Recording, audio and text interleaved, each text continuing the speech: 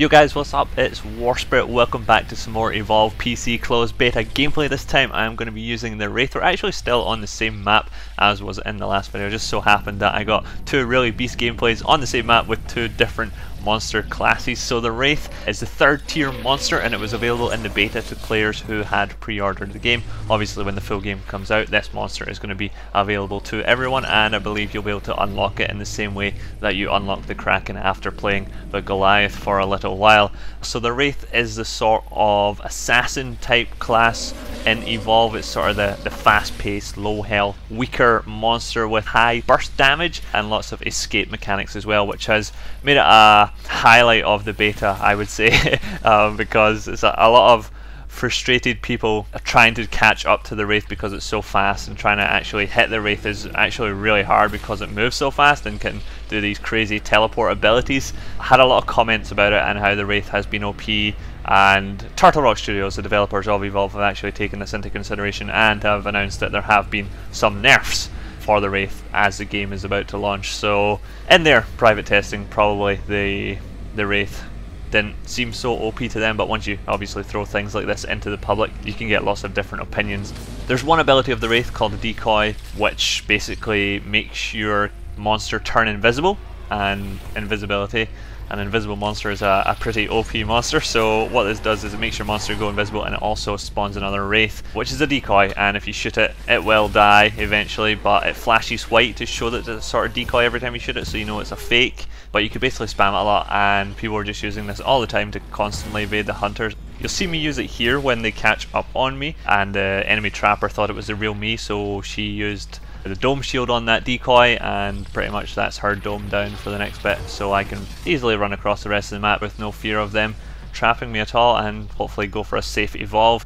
You're pretty much with the Wraith because it's really weak at stage 1. Look at that health bar at the top right now, only 4 bars and like half of that in armor size so it's, it's got a really low amount of health which means if you do get caught early on you're going to have to play a little bit of hide and seek inside the dome area to just try and not lose as much health as possible. And it's pretty easy to, to run away as a Wraith because, unlike the Goliath, his leap ability means that you leap onto other surfaces, whereas with the Wraith, you pretty much, this dash allows you to basically dash upwards into the sky as well, which means you can travel really easily over other obstacles that are going to be in your way and even float forwards a little bit before you land back on the ground, whereas the Goliath is just straight pouncing from one piece of ground to the next piece of ground. It's not got as much mobility as the Wraith does in that sense. So yes, the decoy has been nerfed by having the cooldown of it increased. It takes longer before you can actually use that ability again.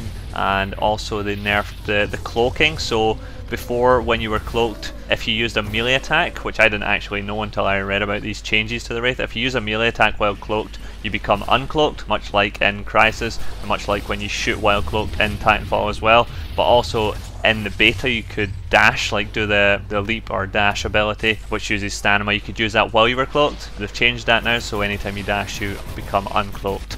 So the Wraith has had a little bit of tweaks, but still, I had a lot of fun playing the Wraith. I didn't find it particularly OP because, well, I did lose a few games with the Wraith, which a lot of people seem to think, oh, I'm undefeated with the Wraith, it's so easy, it's so OP, but I actually managed to lose some games with the Wraith. I definitely kind of prefer the Wraith to the to the other ones. I would like Wraith to be my favourite character because I'm all about the fast-paced classes and the, the assassin stuff. I would kind of like the Wraith to be my favourite one, although out of the three so far, the Goliath, Kraken and the Wraith, I've had the most success with the Kraken. I didn't actually lose a single game with the Kraken and I do have some Kraken gameplay saved as well which I want to show you. Probably uploading them hopefully before the game comes out as well.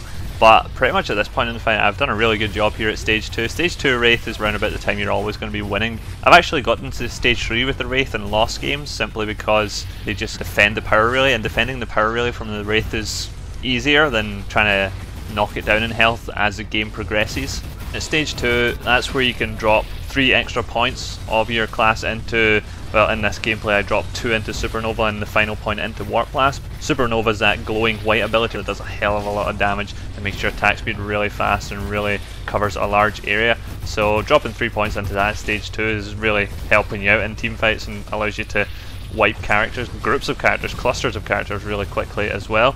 I just really like the Warp Blast, I find that's uh, a pretty cool ability, especially at stage 1 for moving around the map and killing off creatures. There's one ability they didn't use in this gameplay, which is Abduction. I never really had much success with that in the beta. Turns out they've actually buffed that ability for the full game because they felt that people weren't using it so much. So what that does is it's a really long range teleport which grabs a player and then teleports you back to where you started with that player in your grasp so that you can pretty much split them off from the group and kill them, which is a nice ability and hopefully get to use that more in the full game as well.